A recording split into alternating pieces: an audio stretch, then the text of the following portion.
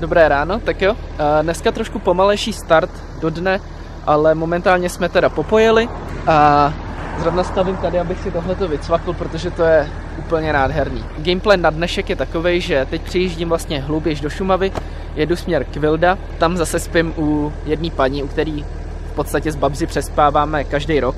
Tak jo, já si to jdu vyfotit a pojedeme zase dál.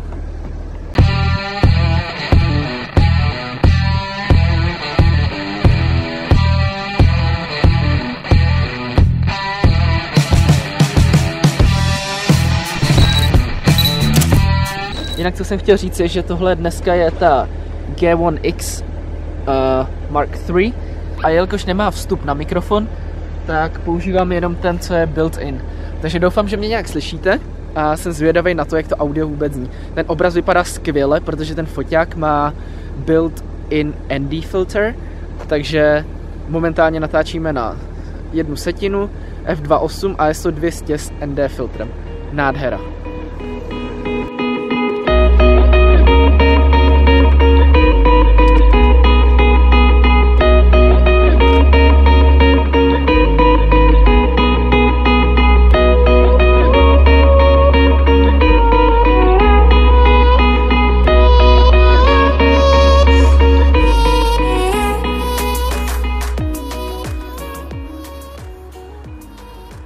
Tak jo, jsme v Borové ladě. A momentálně mě to nefacial trackuje, protože to asi nevidí obličej, ale jsme v Borové ladě a teď jdeme tady na location scouting, chci se jít podívat na to, jak vypadá ta chalupská slať, tak já si jdu zabalit a vyrazíme na cestu. Taky co jsem chtěl říct je, že se nedivím tomu, že ta chalupská slať je vlastně tak populární, když Vemte si, že tady zaparkujete auto, prostě tamhle na parkovišti. No a z toho parkoviště tam legit jdete 550 metrů. Takže to, že to je populární prostě, mě strašně mrzí, že lidi právě jakoby, já nevím, jakože tady ty jednoduše dohledatelné místa jsou strašně, oh, jsou strašně populární. To samé bylo, když jsme byli právě na roadstripu loni, potom v Slovinsku, tak taky jakoby bled byl úplně nechutný. Takže zase opět naučná stezka. Myslím si, že je to docela zajímavý tady ty věci přečíst. Aspoň se něco naučíte o tom místě, když už jenom v podstatě parkujete a jdete 500 metrů. Jste nějaký základní údaje, nadmorská výška a z čeho se takto jakoby ta slať skládá. Jinak teda je to první zóna Národního parku. Eh, klasika, zákaz kouření, zákaz ježdění na kolech tady a tak podobně. Tyjo, ty břízy jsou ty břízy jsou neskutečně krásný. No nic, dáme nějaký bírolíka.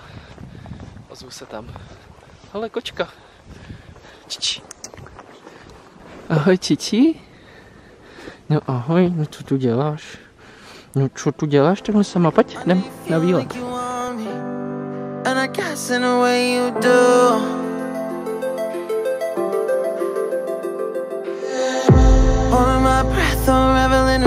emotions I need some space to think this through Call me all night long Try to give you hints and a hard to see Tak jo, jsme u nejznámějšího instaspotu ever.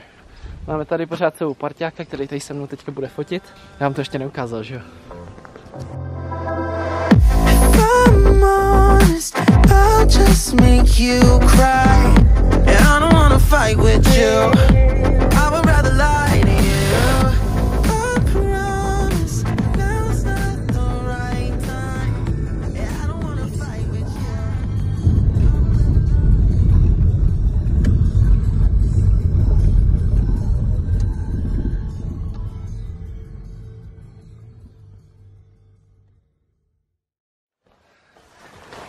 Tak jo, takže jsme na pokoji. Já už mám vybaleno. No, Připravil jsem se na zítřejší výlet, připravil jsem večeři, kterou si večer uděláme venku na ohni. A momentálně si chci skočit ještě do města, nakoupit nějaký menší potraviny, a sušenky a tak podobně, protože už mi došly tady ty instantní zásoby. Jinak teda, aby to bylo kompletní, takže tady to jsou vchodové dveře to za mnou. Když vejdete, tady je postel, tady je palanda pro dva, obří skříně, kde najdete jakoby věci na vaření a tak podobně. A tady to je koupelna. S výhledem dozadu takhle, tam vzadu si budeme pak dělat tu večeři. záchod a super hustá walk-in sprcha. Tak jo, jedem, protože já se musím vrátit a začít asi dělat oheň, protože pak bude tma už a nic nevidím.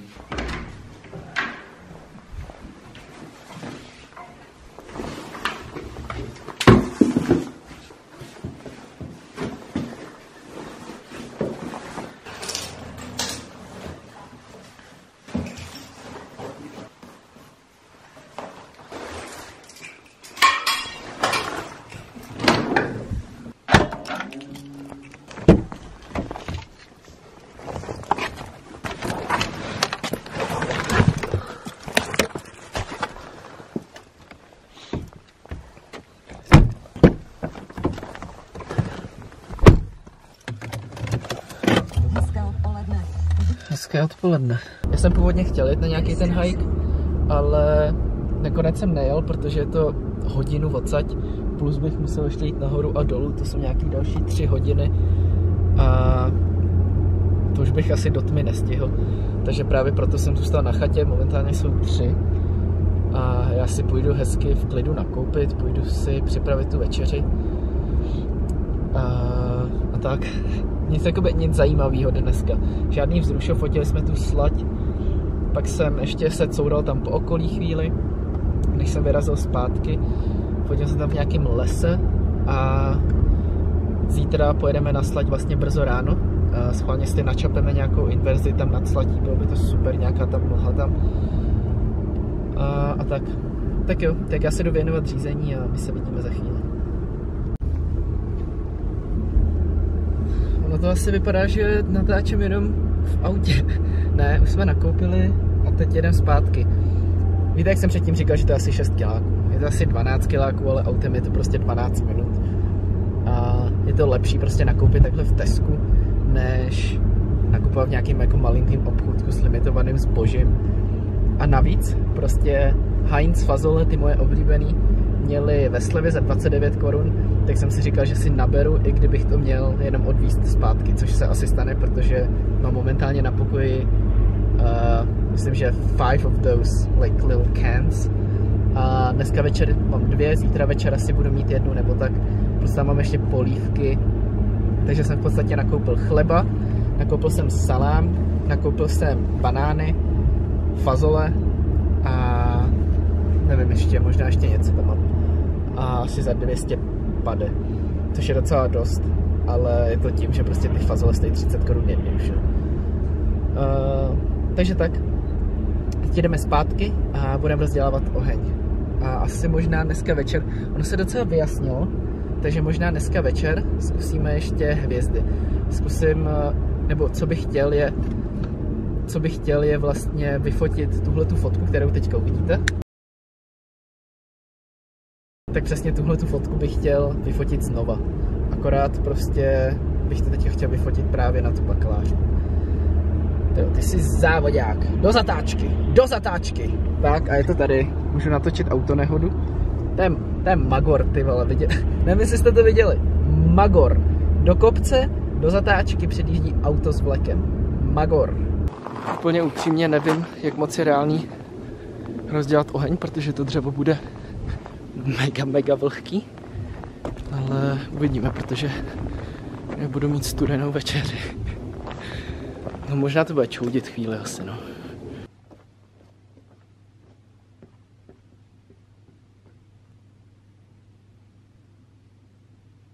Jedna věc, která tady na té G1 mi vadí, je ta baterka a ta výdrž, protože už teď mám jenom dvě čárky a to jsem to ještě vlastně před odjezdem na nákup jednou nabíjel.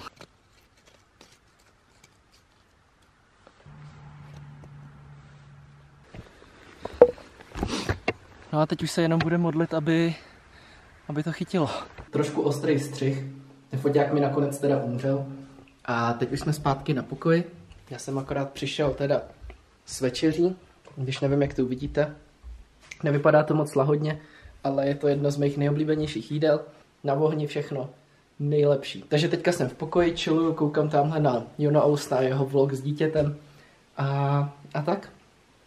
Rozdělával jsem ten oheň nakonec asi na čtyřikrát mám pocit, protože jak venku ještě mrzne a všechno je ještě mokrý a studený, tak to trošku trvalo. ale myslím, že se to nakonec docela povedlo. A, a tak, tak jo, já děkuji za to, že jste to sledovali. A doufám, že vás to bavilo a my se vidíme v dalším videu. Mějte se krásně. Zatím čau.